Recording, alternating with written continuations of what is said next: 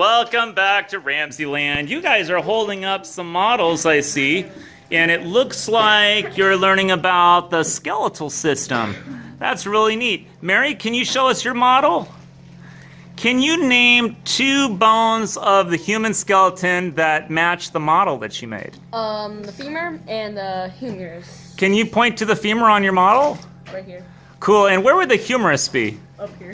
Fantastic. Now, Jocelyn, we were looking at your model just a minute ago. Joss, can you hold up your model? Can you name two parts of the human skeletal system on your model?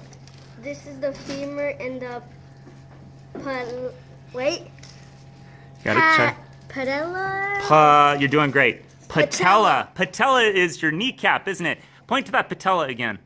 right here. Fantastic, Jocelyn. Way to go. With, Dom- with Dominic, Dominic, can you show us your model? Yes. Awesome. Can you name a bone on your model? So I got my phalanges and my spine. Phalanges and spine. Awesome. Fourth graders learning about the skeletal system with models. Nice work.